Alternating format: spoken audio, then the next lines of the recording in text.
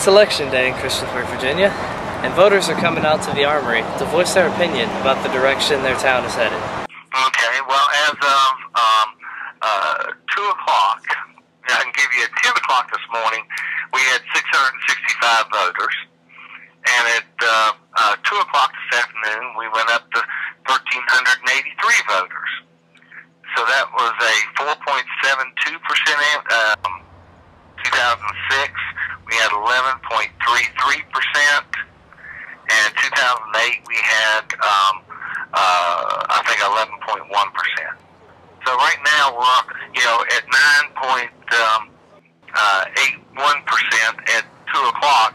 And you figure that between now and 7 o'clock this evening, you're to, that's a good five hours. If it stays pretty steady, then we're going to be up right around the 14% or something like that Check back with the NRV Hub later tonight to get your updated election results.